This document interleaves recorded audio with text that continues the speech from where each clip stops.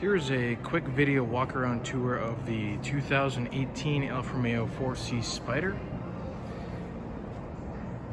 This video is going to give you a nice look at the overall condition of this mid-engine roadster that is becoming a modern classic collector. Two-owner vehicle, originally from California. First owner leased it, second owner bought it as a certified pre-owned vehicle. Had it for nearly two years and then drove cross country all the way to Davenport, Iowa. They traded for a Giulia Quadrifoglio in the same color. Overall car is in very nice shape. We professionally redone all four wheels and also put brand new tires on the car. Plenty of brake life.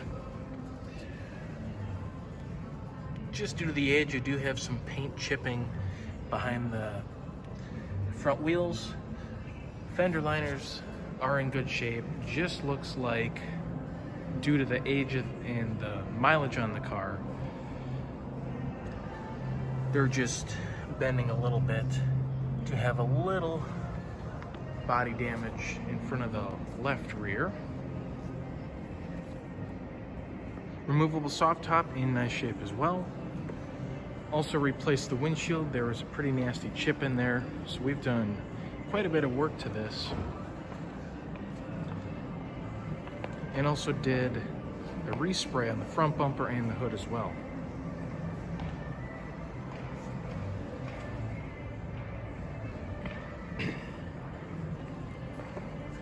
and moving to the interior. Beautiful tan leather seats, very, very nice shape.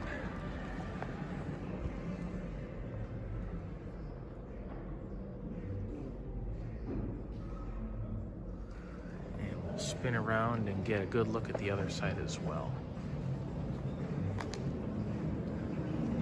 Nice part about this car, as I mentioned, two owner car from California. So it hasn't seen any salt, any poor weather, as you would see in the Midwest and Iowa here.